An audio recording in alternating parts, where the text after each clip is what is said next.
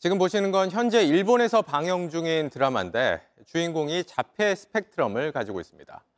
첫 방송부터 한국 드라마를 표절한 게 아니냐는 논란이 일본 내에서 먼저 불거졌습니다. 조소희 기자입니다.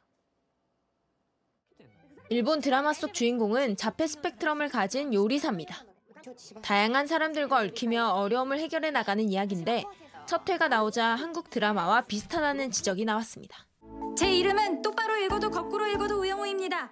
두 드라마의 주인공이 같은 장애를 갖고 있기 때문만은 아닙니다. 홀아버지가 딸을 키웠고 뒤늦게 성공한 친엄마가 나타난다는 점, 친한 친구가 불량 학생이었다는 설정도 유사합니다. 그러다 보니 일본 언론이 먼저 표절 논란을 제기했습니다.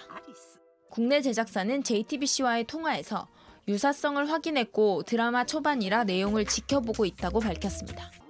요즘 일본 영화나 드라마가 한국 작품을 따라했다는 의혹은 종종 제기되고 있습니다. 20여 년 전만 해도 상황은 반대였습니다. 한국이 일본 드라마나 예능 프로그램을 무분별하게 따라해 일본 방송사들이 항의할 정도였습니다.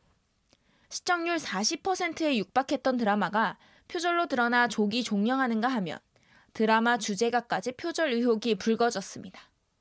당시 우리나라 신문엔 일본 방송을 베끼는 건 한국의 불치병인가 라는 기사가 실리기도 했습니다.